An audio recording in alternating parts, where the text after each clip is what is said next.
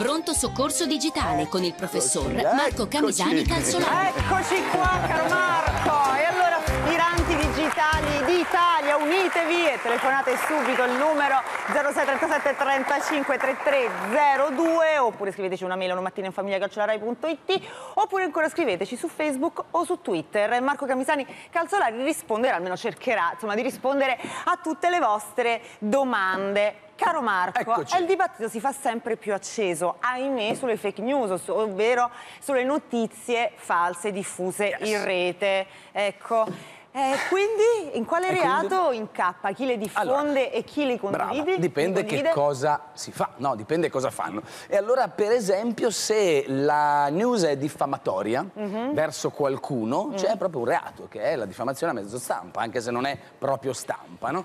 E c'è anche una multa, evidentemente, e dipende dal tipo di reato, una reclusione da sei mesi a tre anni. Mm. Se invece la si condivide, io dico purtroppo non c'è alcun reato, perché in realtà a volte la condivisione di fake news fa danni e quindi ancora non è stato legiferato bene, no? E quindi bisognerebbe invece occuparsi secondo me di questo, perché le fake news fanno male. Ma a volte può anche essere non so, una- può essere lesiva no? la, la news dell'immagine di qualche azienda. Allora in quel caso l'azienda potrebbe chiedere un risarcimento. Oppure se si fa finta che ci sia qualche pericolo, attenzione perché adesso, magari inesistente, c'è proprio un reato che è procurato allarme, anche lì multe, eccetera, sanzioni. E invece le, le false donazioni, quindi le, le- le fake news sulle false donazioni, quindi dona, eccetera, rientrano proprio nelle truffe. E lì ci sono un po' di reclusioni, ovviamente. Reclusioni, scusami, c'è possibile no, essere reclusi tra sei mesi e tre anni, perché evidentemente... insomma, Eh, E invece come difendersi? Eh beh, allora bisogna innanzitutto avere sempre un buon senso, no? Perché eh, quello vince su tutto, anche se la tecnologia, ad esempio Facebook e Twitter, stanno facendo del loro meglio per far segnalare le, le fake news. Quindi una cosa importante che bisogna fare è che quando ne riconoscete una, segnalatela alla piattaforma. Ecco. Tutte le piattaforme ne hanno la possibilità, se le segnalate aiutate il sistema, insomma. Ed ora risolvi un problema digitale. Sentiamo chi c'è al telefono. Pronto? Pronto, buongiorno professore. Ho scaricato delle foto sul computer, ma alcune sono sottosopra o messe di lato. Come faccio a salvarle nella posizione corretta? Allora, quando sono un po' girate, bisogna. C'è un file. C'è il file. Dentro il file manager è possibile proprio fare tasto destro e c'è un'indicazione chiara sulla maggior parte dei computer e dei sistemi operativi con il ruota. Ruota a destra e può essere ruotata fino a diventare finalmente dritta. Da così a così. Hai reso l'idea, Marco, Eh? va bene. E adesso è il momento di video È il curioso. momento del video, vediamolo. Arriva, eccole qua, vedete, sono, non si vedono, ma sono germogli di patate.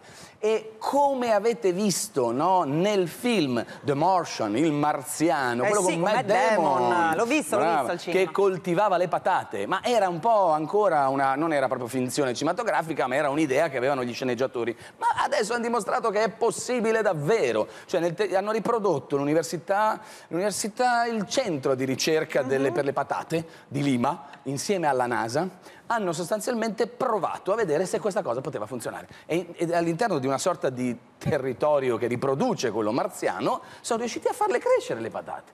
E quindi su Marte, quando andremo a vivere su Marte, sei pronta? Eh, come no, prontissimo, già la pronti. valigia fatta. Valigia fatta Sì. e ce ne andiamo su Marte e mangeremo patate, sempre. Beh, meno male, Patate almeno fritte, mangeremo ortaggi e non insetti, come, È vero, è vero, come, è vero. c'è- come ci dicevano. E dopo esserci, esserci collegati con il tuo ascendente degli anni Ottanta il tuo discendente del futuro, oggi chi ci Eccolo qua, guarda, guarda che conoscere? bellino, guarda, guarda, guarda, guarda. Oh mamma. Ciao Marco! Ciao, ciao, ciao, ciao, ciao, ciao, guarda che bello che è, eh, guarda lo stesso botaio. Ciao Marco, eccomi qua. Sono Ciao. il tuo avatar e vivo in un mondo virtuale. Ti vedo. Qui posso fare un po' quello che voglio. Vuoi che ti faccia vedere cosa riesco a fare? Sì, Chiedimi. vai, allora, ad esempio nel tuo mondo ci sono, non so, gli smartphone, i cellulari, come abbiamo noi. Ma certo che abbiamo i cellulari e gli smartphone. Posso scattare delle foto Wow, e guardarle, proprio come te. fantastico. L'unica cosa è che a differenza tua, essendo in un mondo virtuale, posso fare tutto quello che mi pare. Vuoi un esempio? E certo, fammi vedere un po' di cose che puoi fare, degli esempi del mondo di un avatar.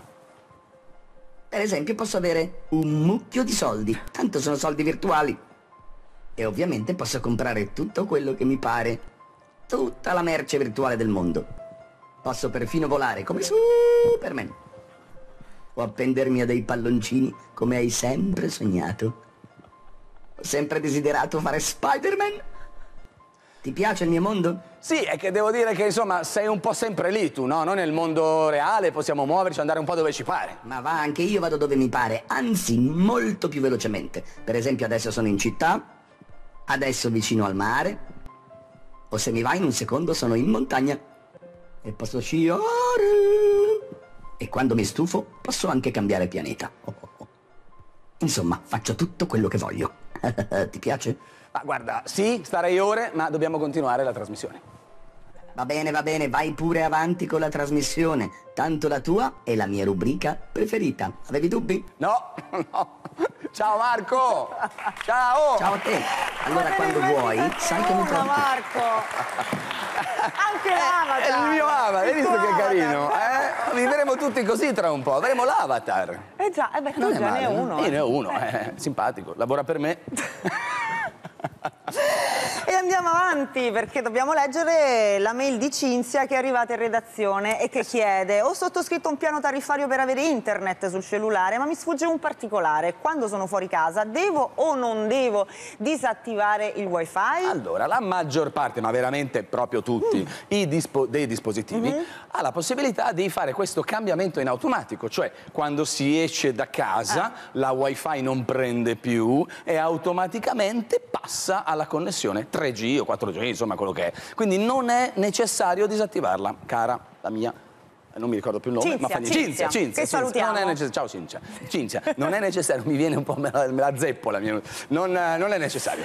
Non è necessario. Mentre la parola digitale di oggi è? Eccola qua, tecnofobia, ovvero l'avversione per la tecnologia, la paura per, per i robot, per la, per la realtà, arti- intelligenza artificiale, per una serie, per gli avatar magari, no? per queste Anche, stranezze qua. no, certo. Ed è una sorta di, ah, come dire, di, di- di problema no? che, che si trova spesso tra le persone, magari soprattutto magari nelle meno giovani e in generale, ad esempio l'Università di Baylor negli Stati Uniti ha detto che la tecnofobia colpisce in generale le persone meno istruite. Io credo che sia... Ma perché si paura o perché Si magari non, paura, si ha non si è capace di utilizzare la tecnologia? Entrambe le cose, si ha paura perché appunto non si è capaci. Mm. Ma non c'è problema, da oggi le paure finiscono perché ci siamo noi Perché? con Ah, pronto beh, soccorso certo. digitale. Quindi qualunque 2.0. paura, noi siamo qui per aiutarvi a superare. risolve tutti i problemi. E caro Marco, i famosi gruppi di WhatsApp, perché ormai spopolano, no? Chi di noi non ha un gruppo di- su WhatsApp? Tu ce Tutti. l'hai? Ce ne abbiamo Quanti ne hai? tutti. Una decina di gruppi. Ecco, una decina, perché c'è quello delle, delle mamme, c'è quello dei papà, c'è quello della Esattamente. scuola, c'è quello del condominio, c'è quello della palestra, insomma quello dell'ufficio, chi più ne ha più ne mettono, però ognuno di loro nasconde delle piccole insidie. Come sempre, Eh. ma come nella vita, no? quella in atomi. Quindi non è mai il digitale il cattivone o internet o WhatsApp, ma è a volte come si usa. O comunque quello che crea problemi. Quindi Allora, prestate attenzione, mi raccomando. Pronti? eh. Allora, nelle chat di gruppo, quindi quelle dove non si è uno a uno, Mhm. bisogna ricordarsi che in quel momento, dal punto di vista, come dire, legale, non si è più in una conversazione privata, Eh. ma si è in una conversazione pubblica. E Pubblica. infatti, infatti, è successo che a Parma sono state licenziate delle operaie, lascia perdere se fosse state licenziate giustamente o ingiustamente, però la ragione era perché eh, in qualche modo hanno parlato male del capo, Mm. ma all'interno di una chat gruppo. Ecco. E quindi non vale più l'articolo 15 della Costituzione per cui la libertà e la segretezza della corrispondenza, in qualunque forma, insomma, è inviolabile. Perché in no? pratica è come parlare al bar. Perché in realtà stai parlando al bar, ecco. quando parli al bar eh, questo Se c'è è- qualcuno, una terza persona che ti c'è ascolta. una terza persona, non è più conversazione privata, No. quindi fate attenzione, ogni volta che siete in una chat di gruppo non state più parlando uno a uno, per cui se per caso appunto parlate male di qualcuno in realtà è, eh, credo sia legalmente diffamazione o comunque sicuramente non è conversazione E privata. quindi può scattare la, di- la diffamazione, come Eh, appena certo, detto, qualcuno o, puoi rischiare anche il tuo posto di lavoro. Eh sì, licenziato, poi se Ecco, sarà appunto. giusto o no il licenziamento non è, non è colpa del digitale, non è in questo momento nostro tema, No, però, però- cosa, però, però è andata così. Bisogna prestare attenzione. Attenzione. Magari evitiamo di parlare male del prossimo. In generale, eh? che male non fa, dai, meglio, parliamone male non sempre fa. bene, via. Bravo. Eh, e dai. allora grazie al nostro prof 2.0 Marco Camisani, calzolaria, sabato prossimo.